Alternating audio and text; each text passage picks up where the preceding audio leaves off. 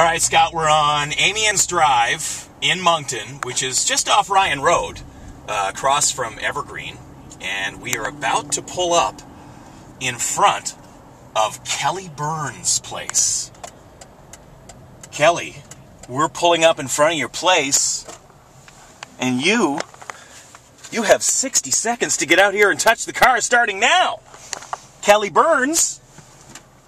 Oh, I hope Kelly can get out here and touch the car. Oh, the, the door's open. The door's open. Run. I don't know. You, you didn't hear the run, Mom. Oh, and there's a dog out here and everything, Scott. Run, Kelly. Woohoo! Awesome. Great job. Hi, guys.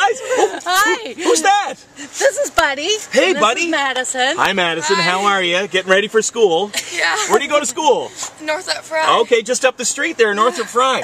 Oh boy, oh boy. Just imagine getting dropped off at school in this rig. Holy smokes. Kelly, look at that. Look, the hand. I'm touching. That's awesome. Well, congratulations.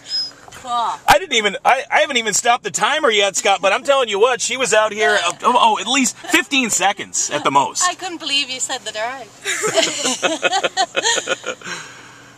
awesome. This is beautiful. Well, I, will, will you let Buddy in the car? In the back seat. Maybe. Yeah. Yeah. Well, leather seats. He's allowed. Keep his nails trimmed. He's not allowed on the couch, but he can get in the car. Hi, buddy. How are you?